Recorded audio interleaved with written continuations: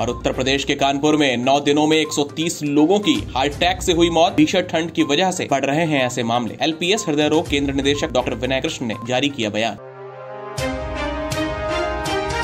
और लखीमपुर खीरी ज़िले में बड़ी संख्या में आज शारदा नदी में जल सत्याग्रह आंदोलन कर रहे हैं किसान। बकाया भुगतान के साथ गन्ना मूल्य बढ़ाने की है मांग। बजाज चीनी मिल पलिया नहीं कर रही है बकाया भुगतान।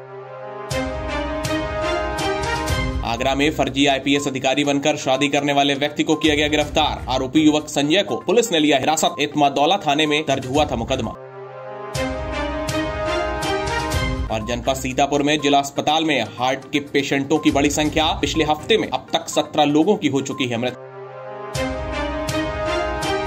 आज से गोरखपुर महोत्सव का हो रहा है आगाज़। 11 से 13 जनवरी तक चलेगा यह गोरखपुर महोत्सव। 13 जनवरी को सीएम योगी भी कर सकते हैं शिरकत।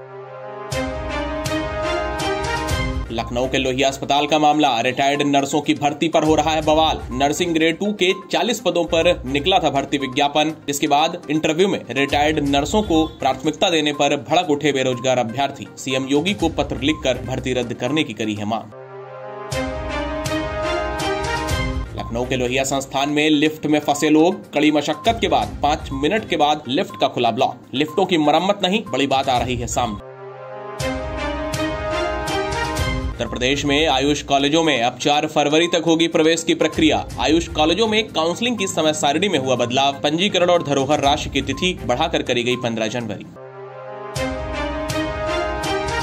मुख्यमंत्री योगी आदित्यनाथ ने किसानों को दी बड़ी राहत। बिजली बिल बकाया होने पर नहीं काटा जाएगा कनेक्शन। पावर कॉरपोरेशन की ओर से जारी किए गए आदेश।